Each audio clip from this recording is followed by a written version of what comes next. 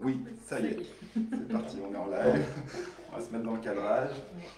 ça a zoomé un petit peu. Ouais, ça a changé.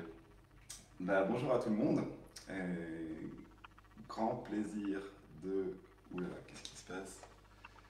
Ok, c'est notre premier live sur Facebook, donc euh, voilà, on cherche encore euh, exactement comment ça fonctionne. Mais en tout cas, grand plaisir de recevoir Noémie ici aujourd'hui. Juste pour euh, recaler un peu de contexte, là peut-être que vous voyez aussi on est debout pour l'instant. L'idée c'est que notre projet s'appelle Émotion en mouvement et on cherche à, avoir justement une pédagogie par le mouvement, par l'expérience, par le corps disponible. Et moi j'ai remarqué que personnellement ça me faisait du bien d'avoir euh, ce jeu possible quand je fais euh, du zoom, quand je fais des, des, interviews ou quand je suis sur, sur mon ordinateur, de pouvoir jouer entre debout, être assis, voilà, en tout cas, sentir euh, qu'est-ce qui est le bon pour moi et peut-être aussi euh, mettre du mouvement, pas forcément être toujours fixe face à la caméra, mais en tout cas me sentir libre de, bouger. Donc c'est ce qu'on va expérimenter sur cette interview, une interview en mouvement. Et donc ce que je voulais euh, bah, déjà introduire qui on est, donc nous, là vous êtes sur la page de, sur la page d'émotion mouvement, qui est un projet comme son nom est assez parlant, qui est une pédagogie par l'expérience de ce que c'est une émotion, à quoi elle sert, comment, comment je la sens dans mon corps, comment je peux la vivre, comment je peux l'accueillir.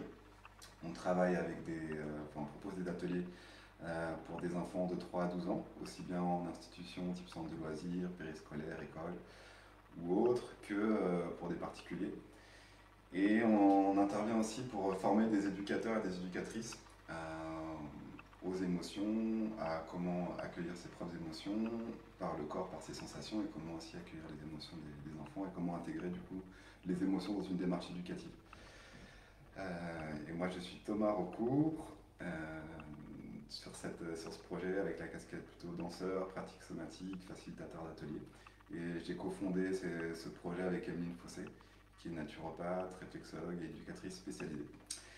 Et aujourd'hui, on voulait, euh, enfin je voulais, et aussi Emeline qui n'est pas présente, on voulait accueillir Noémie parce qu'on est hyper euh, touché et passionné par ce qu'elle partage sur les questions de genre et de liberté, d'égalité, peut-être d'équité, on verra, je sais pas, les différents pour les, pour les enfants. Et nous-mêmes dans nos ateliers, on cherche aussi à introduire ces notions-là de est-ce que les émotions ont un genre, est-ce que tout le monde peut être triste, que tout le monde peut être en colère, est-ce que c'est universel ou pas? Est-ce qu'on voit aussi vraiment des grosses différences, on en reparlera, euh, entre les garçons et les filles, ou dans les façons euh, d'être présents dans nos ateliers. Et donc c'est un sujet qui nous tient à cœur, on aimerait mieux comprendre et puis aussi partager avec vous euh, bah voilà, qu'est-ce qu'on vit, comment on peut intégrer une démarche autour du genre et dans, dans une démarche éducative. Voilà. Alors Noémie, j'ai déjà beaucoup parlé, je te laisse un peu le micro. Et n'hésite pas, hein, bien sûr, ça besoin de bouger, de, voilà, de secouer. Euh, bien.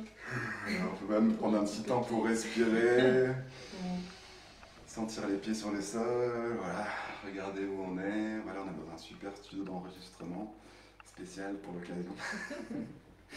Et voilà, quand, quand, tu te sens prête, tu peux voilà, juste dire qui tu es et, parler aussi peut-être plus spécifiquement de ton projet Grandir Ego, qui parle du consentement, enfin dans du genre, pas du consentement, mais peut-être aussi du consentement. Peut-être aussi du consentement, partie. Euh, bah déjà, merci de, de m'accueillir ici. Euh, donc, euh, donc, je suis Noémie et je suis formatrice à l'égalité filles-garçons. Euh, et donc ce que j'entends par là, c'est que j'accompagne euh, les adultes, donc notamment les professionnels, mais aussi les parents, euh, à éduquer leurs enfants libres de tout stéréotype. et donc, voilà, c'est de la formation, mais c'est aussi de l'accompagnement. Au-delà de juste la pure formation, moi j'aime bien le côté aussi accompagner dans une démarche de vraiment euh, apprendre à observer avec ce prisme-là mhm. et ensuite mettre en place des actions euh, pour, euh, pour corriger le tir. Quoi. Donc voilà. Donc, voilà en quelques mots ce que je fais. Ok. La, première question qui vient, c'est comment tu es arrivé du coup à, à faire ça? C'était quoi, c'était quoi le chemin peut-être perso et pro qui t'a amené sur, sur, sur ce sujet? Alors, moi, je j'ai pas un moment, tu vois, où je me suis dit, je suis féministe, euh, ça m'intéresse. J'ai l'impression d'avoir toujours été là-dedans, à des niveaux de déconstruction plus ou moins grands, parce qu'au collège, ça m'empêchait pas de, d'avoir des, des, réflexes hyper sexistes et tout, enfin même après, hein, mais je veux dire. Mais par contre, j'avais toujours un peu ce truc-là, parce que j'ai aussi grandi dans ce. Euh, mes parents, ils se considèrent aussi féministes, et donc mmh. j'avais aussi ce. Euh, et puis un modèle assez égalitaire dans la famille. Donc voilà, c'était quelque chose qui me touchait. Euh, mais j'observais, même si mes parents étaient égalitaires, j'observais quand même des différences, par exemple avec mon cousin vis-à-vis de mes grands-parents, des choses comme ça. Donc je voyais que c'était mmh. différent, ça me paraissait injuste. Mmh. euh, et donc je me suis très tôt euh, intéressée à tout ça. Et vraiment le déclic, c'est quand j'ai fait une année d'études à Montréal. Ouais où là ils sont vachement avancés là-dessus, donc j'en ai profité, j'ai pris plein de cours euh, mmh. sur ces questions-là, sur le racisme, sur plein de choses. Et, et, donc après, j'ai fait un master en politique publique locale parce que je voulais. L'échelle locale me semblait intéressante pour réfléchir à comment, au niveau local, on, on promeut l'égalité et on lutte contre les discriminations. Mmh. Comment on outille les gens, comment on donne du pouvoir d'agir aux gens sur les territoires. Et donc j'ai fait un master là-dedans, j'ai eu plusieurs euh, euh, expériences dans des collectivités, des assos euh, là-dessus. Et ce qui me passionnait le plus, en fait, je me rendais compte que là où j'avais l'impression d'avoir le plus d'impact, c'était dans la formation des adultes. Parce que quand on intervient devant des enfants, c'est super et c'est hyper important. mais si derrière la structure dans laquelle on intervient, il n'y a pas une, une, démarche et que les professionnels et les parents qui sont autour des enfants se posent pas aussi la question et ne modifient pas un peu leur, euh, leur posture, mm. euh, ça ouvre des réflexions pour les enfants, ce qui est mm. super important, mais euh, ça modifie pas la structure. Quoi. Ouais, mm. Donc voilà, c'est comme ça que j'ai décidé de me lancer à mon compte il y a deux ans. Ouais. Où tu accompagnes plutôt les structures, les adultes, comme tu dis, dans une plutôt systémique, comment, comment on regarde le système. Et qu'est-ce qu'on peut faire pour euh, que le système soit plus inclusif euh, En tout cas, une partie du système, parce que ce qui revient souvent, c'est que on parle souvent de système, et la difficulté, c'est qu'en même temps, personne se sent être le système. Oui, c'est ça. Moi, je suis pas le système. Hein, moi, je suis un individu. Euh, il y a plein de gens matures, mais moi, je suis pas mature. et en fait, c'est ce que je vois souvent, c'est ben oui, mais nous, on fait ce qu'on peut, mais les parents, ils font pas, ils font pas, et les parents qui disent oui, mais les pros ils font pas. Ils se jettent la balle. Oui, mais euh, ta, et on, enfin, chacun se jette la balle un peu en disant non, mais c'est pas ma faute, c'est la faute des médias, c'est la faute. Et, effectivement, c'est systémique et il faut agir sur tous les, les plans. Et du coup, bah, il faut bien commencer quelque part. Quoi. Donc, euh, mais donc, effectivement, bah, euh, ce qui m'intéresse, c'est comment on modifie un peu bah, les structures, les institutions et pour ça, il faut faire bouger les individus à l'intérieur. Ouais. Ok, super. Il y a plusieurs questions qui me viennent, mais peut-être pour faire un pas en arrière et introduire le. Déjà, introduire plus globalement le genre pour les personnes qui n'en ont pas beaucoup entendu parler, d'où ça vient, à quoi ça sert de nommer cet aspect. Et euh, qu'est-ce qu'on fait avec ça quoi Alors, le genre. C'est pas une question facile. Hein. C'est pas une question facile. ouais, non, non, ça va, ça va, j'ai l'habitude de répondre. euh, le genre, c'est donc c'est un concept qui vient des sciences sociales, qui a plein de définitions. Euh, on parle de, enfin, on dénonce parfois la théorie du genre. En fait, ça n'existe pas tout simplement mmh. parce qu'il n'y a pas encore de théorie unifiée du genre. C'est-à-dire qu'on ne s'est pas mis d'accord.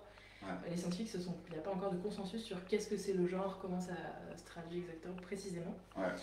Euh, mais moi, une définition un peu qui me paraît la plus simple et pragmatique euh, que je me suis un peu constituée au fil de mes lectures et tout, c'est que le genre, c'est euh, la construction sociale de la différence des sexes.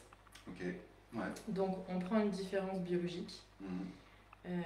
et on construit une différence sociale sur cette différence mhm. et on crée des inégalités en fait, au-delà de juste une différence. Euh, et donc le genre, il sert à, analyser en fait euh, euh, les rapports d'inégalité et de pouvoir et de domination entre deux catégories de personnes qu'on étiquette, qu'on différencie mmh. fortement mmh. et qu'on hiérarchise. Mmh. Parce que ce qu'on étiquette masculin dans notre société, on va le considérer comme ayant plus de valeur que ce qu'on étiquette féminin. Donc c'est ces trois euh, étapes, on, on, sépare, on différencie, on hiérarchise, que le genre vient questionner en fait. Et comment, comment nous, on participe en tant. parce que tu parlais justement, non, on a plutôt tendance à mettre ça à l'extérieur, mais du coup, comment dans notre quotidien, là, en tant qu'humain et humaine, qui sont parfois parents, parfois éducateurs, ou en tout cas en lien avec des enfants, comment on participe de manière peut-être inconsciente ou plus ou moins consciente à, à, cette construction sociale qui différencie et qui hiérarchise le masculin, le féminin, les garçons, les filles, les femmes? Euh, Et ben par plein de façons, en fait, je pense que euh, et c'est même pas que auprès des, des, enfants, mais auprès de toutes les personnes qu'on côtoie, mmh. on perpétue euh, les catégories de genre. Donc nous, on a été des enfants. Mmh on, est né avec un cerveau qui avait plein de connexions, qui était prêt à s'adapter à tout type de culture, tout type de règles, tout type d'environnement. Mhm. Euh, et il est né dans une culture euh, où il y avait deux catégories, qui étaient les filles et les garçons, et auxquelles on associait tout un tas de, de caractéristiques et de valeurs. Et nous, on a observé ça dès qu'on est né.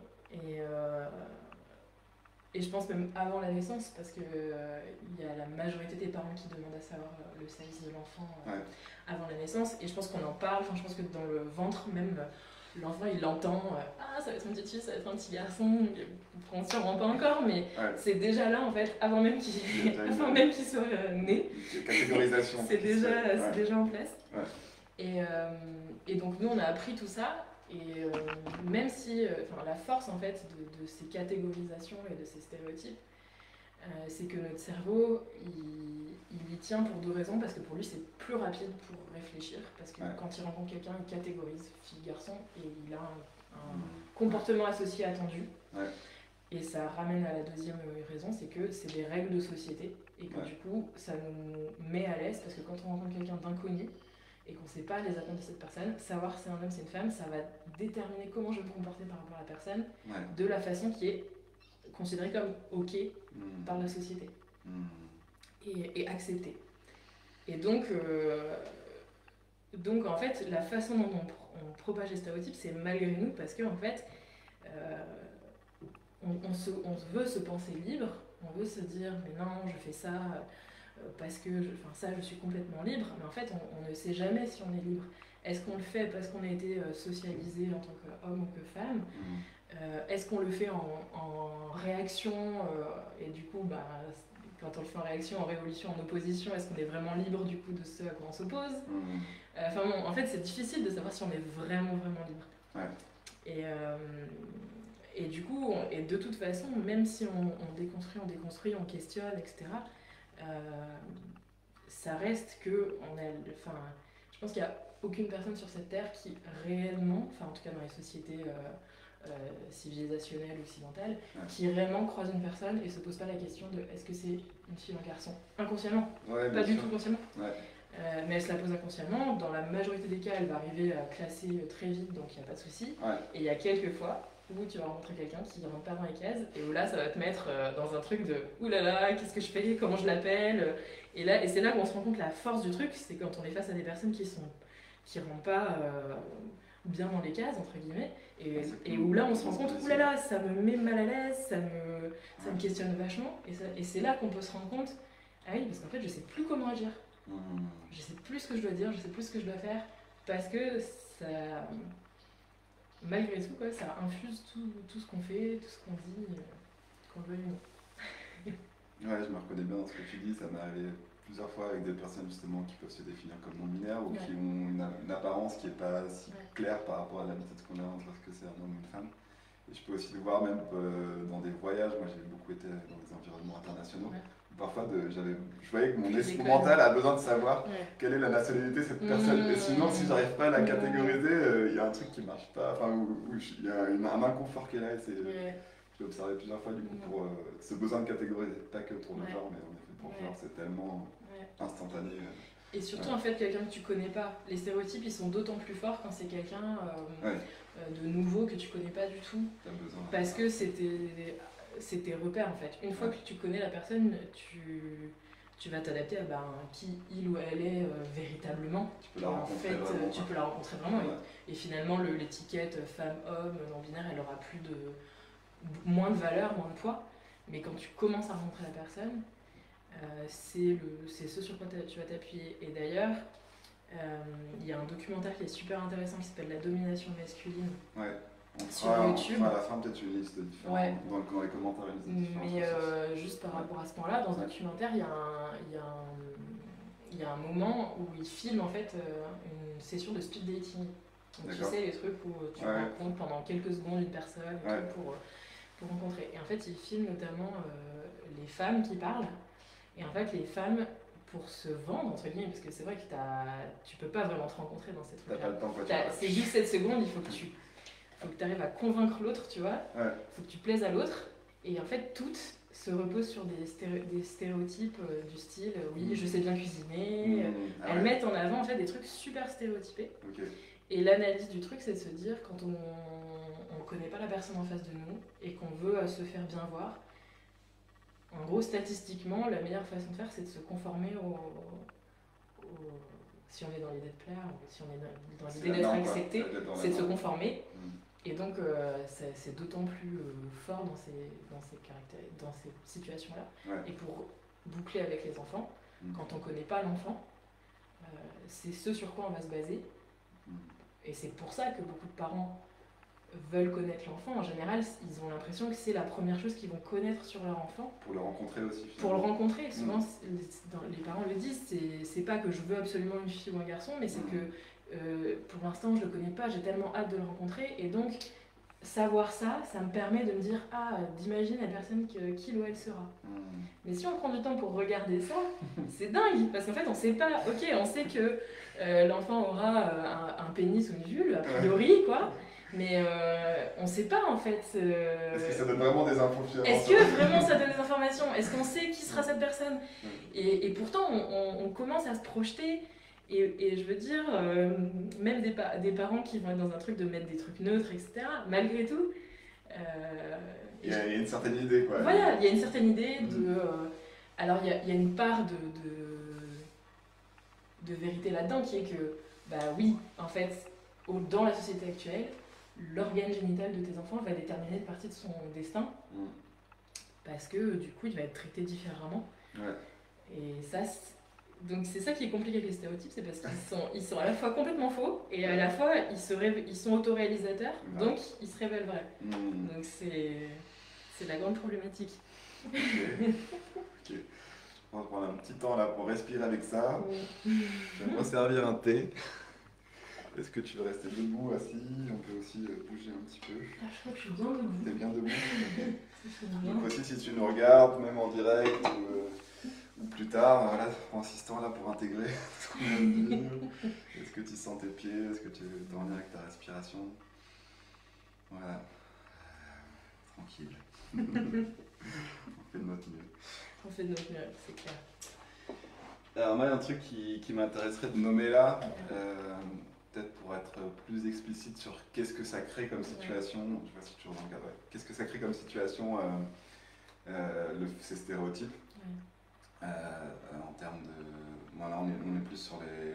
par rapport à émotion de mouvement, plus sur les enfants, du coup, que comment, comment ça change les comportements des enfants, leur façon de socialiser, leur façon d'être dans l'espace. Moi, je peux nommer Mhm. quelque chose que je vois en atelier, et puis après, tu pourras complémenter.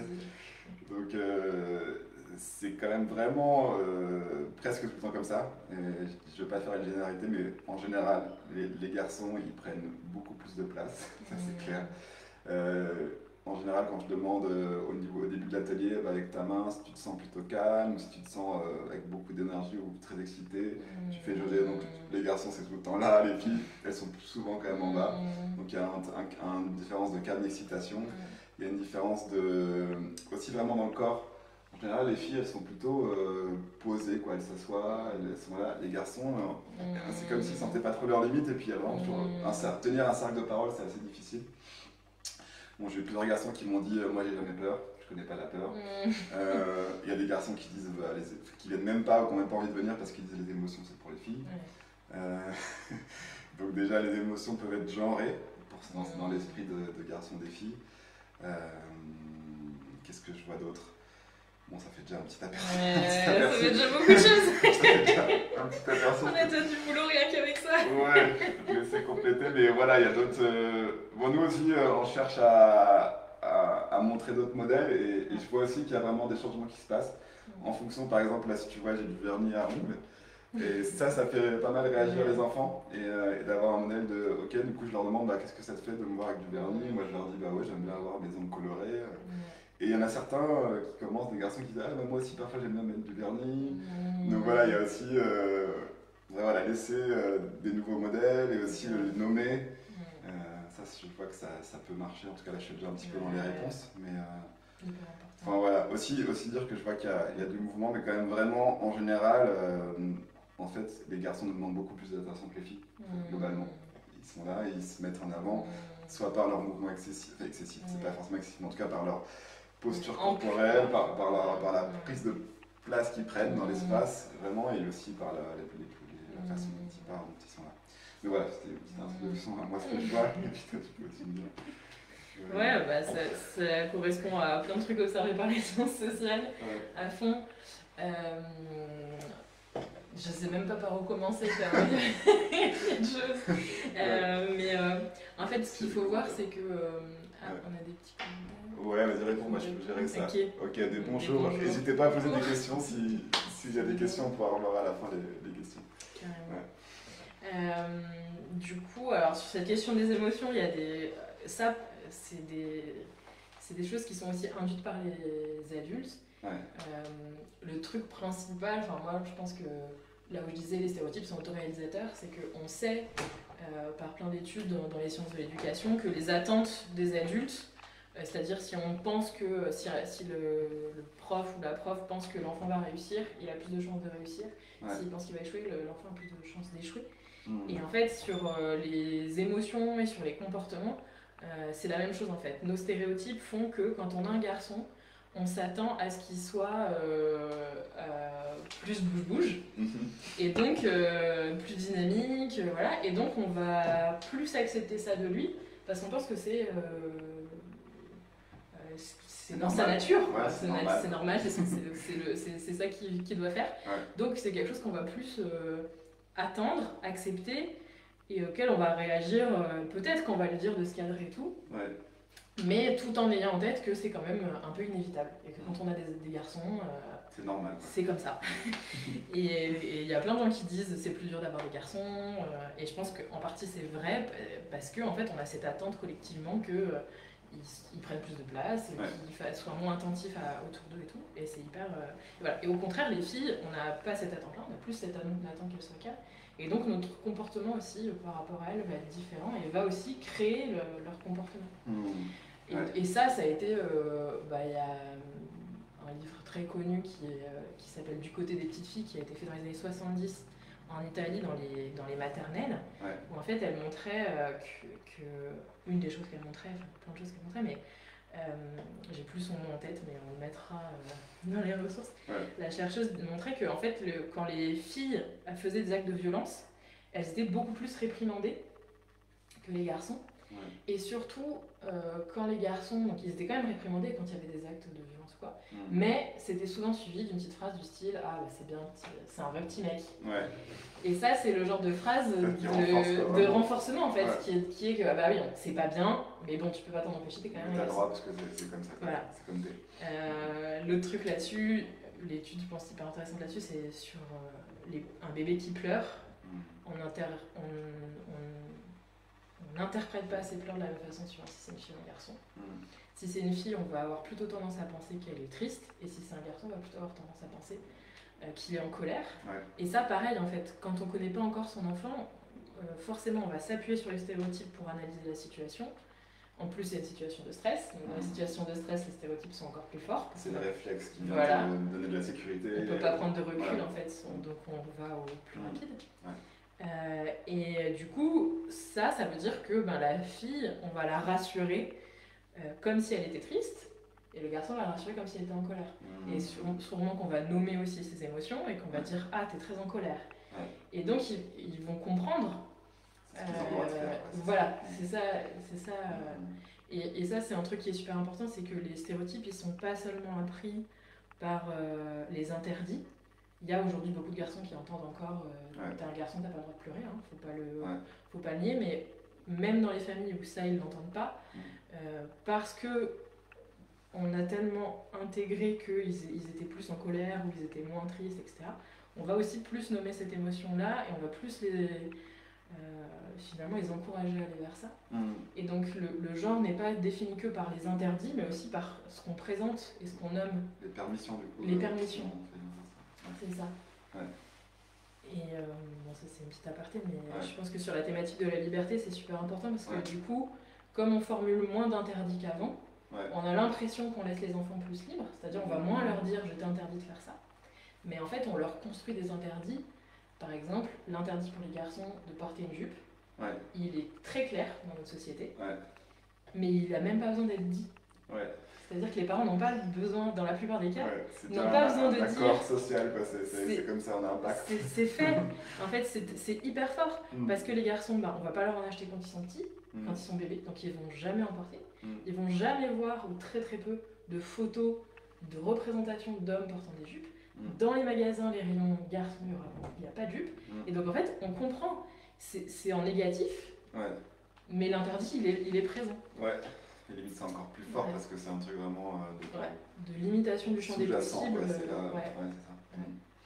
Et, euh, et voilà, mais après, sur, sur l'espace, euh, tellement de recherches là-dessus aussi, sur les garçons qui prennent plus d'espace.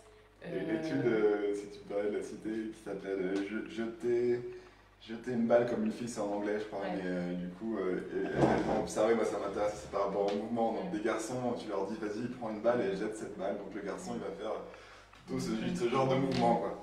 Et la fille va plutôt faire ce genre de mouvement. En fait. Voilà, donc c'est à quel point on a été autorisé et permis. Et ah, vas-y, prends vraiment de la place. Utilise tout ton corps quand tu lances la balle. Ou non, en fait, toi, tu es plutôt légitime à avoir ce mouvement-là. Je trouve que c'est aussi très parlant sur le clair. Et sur l'espace euh, euh, sonore aussi, euh, des études super intéressantes sur le, dans, les, dans les classes, quel est le temps de parole des filles et des garçons. Hmm. Et on observe qu'en gros, les garçons, ils ont à peu près deux tiers du temps de parole à l'école. Ce qui, de façon assez intéressante, rejoint les, les ratios dans les médias. C'est-à-dire que dans les médias, ah les, gars, les hommes ont deux tiers du temps de parole. Donc, bon, on peut se dire que c'est une coïncidence, mais en tout cas, il y, a des, trucs qui se rejoignent. Et euh, dans les classes euh, où, les, du coup, voyant ça, les instituteurs et les institutrices se sont dit Ok, bah, je vais faire un sur deux. Donc, une fois, je, je demandais euh, une fille, une fois un garçon. Et bah, les garçons ont un ressenti d'inégalité. Et ils disent, mais c'est pas juste, les filles parlent plus. Ah oui, parce qu'ils ont l'habitude en fait. Parce qu'en fait, ils ont l'habitude de la situation précédente, qui pour eux était égalitaire, était normale, alors qu'elle ne l'était pas. Et quand on remet l'égalité, ils se sentent euh, privés de temps de parole. Et voilà. Et c'est là que le, la notion de hiérarchisation elle est, et de domination elle est forte. C'est-à-dire que ça, c'est ils l'ont pas choisi, ces enfants, c'est des enfants, c'est des. Voilà. Mm. Mais ils ont eu un privilège à un moment d'avoir plus le droit de parler. Mm. Et quand on leur enlève, euh, et ben, ils le vivent comme une inégalité, alors qu'en fait, c'est un retour à l'égalité. Ouais. Ça, c'est. Ça, c'est. Je sens que dans mon corps, là, ça fait. Je me sens, je me sens un peu déprimé là, avec ce que tu dis, parce que je dis, voilà. C'est du lourd, quoi. Ouais, et je trouve important de le dire parce que souvent on dit. Euh, souvent on a un discours un peu angéliste qui est de dire mais non mais l'égalité tout le monde en profite, les hommes aussi en profitent. Et c'est vrai que les hommes vont gagner en liberté avec l'égalité parce qu'ils pourront avoir accès beaucoup plus facilement à tout ce qui est de l'ordre du féminin et pas que du et donc ce sera une expansion. Mais il y a aussi effectivement euh, de la perte parce que quand tu es dans un espace et qu'il faut se partager l'espace pour que ce soit égalitaire il faut bien que les, garçons apprennent aussi euh, à, connaître leurs limites et à se restreindre un peu pour donner la place. Il faut que les filles apprennent à prendre leur place et il faut que les garçons apprennent aussi à laisser la place. Et donc, euh, c'est pas du. C'est pas forcément du gagnant-gagnant. Et on a, ça, on a tendance à dire, mais non, mais c'est gagnant-gagnant, c'est gagnant-gagnant. Oui, sur certains points, c'est gagnant-gagnant. Sur d'autres, il faut accepter que. Euh, ben, on va devoir apprendre aussi aux garçons à se limiter un petit peu. Parce que c'est pas possible en fait. On peut pas. Euh, à écouter. Prendre des pièces deux fois plus grandes tout le temps, enfin on peut pas. D'accord. Ouais, c'est intéressant, merci de ce point, que j'avais pas entendu euh, encore sous cette perspective-là. encore. Euh, c'est comme si tu voyais différents prismes euh, pour voir cette question du genre et de l'égalité. Et ouais, c'est vaste, c'est vaste. Je vais juste checker s'il y a d'autres commentaires. Je serais intéressé par la thé pour la fille de 4 ans. Ok, alors, euh, pourtant ma fille est très bouge-bouge, elle prend beaucoup de place. Je ne partage pas très.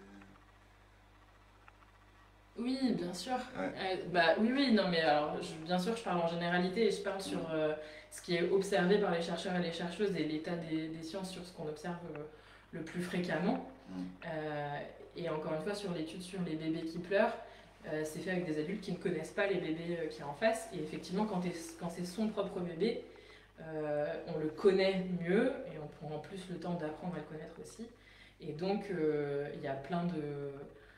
Effectivement, il y a plein de parents qui sont dans cette démarche de, de chercher à, déconstruire tout ça et à, et à montrer toutes les émotions. Et je pense que c'est aussi le, ce que vous faites en fait dans vos ateliers, ça participe aussi à ça. Ouais.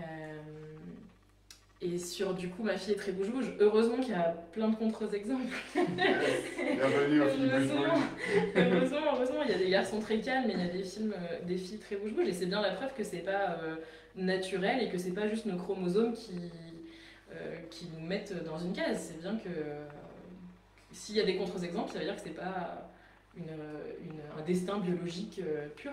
C'est ça, ça donne plutôt de l'espoir, en tout cas voilà, d'accueillir l'enfant tel qu'il est, au-delà de stéréotypes. Mm. Et, aussi euh, rappeler qu'on est le 24 mars 2021 et c'est quand même à la fois une époque vraiment compliquée, mais c'est une époque quand même super où euh, il y a plein de ressources, il y a plein de ressources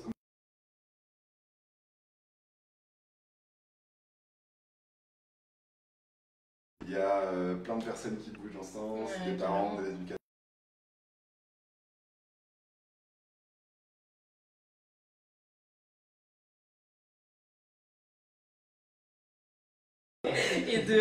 Va pas et de tout ce qui fait que c'est compliqué le changement.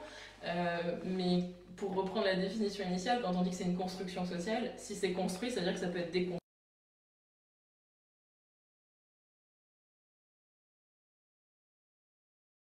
Important quand même de connaître euh, les stéréotypes qu'il y a dans et les stéréotypes et les dynamiques inégalitaires de domination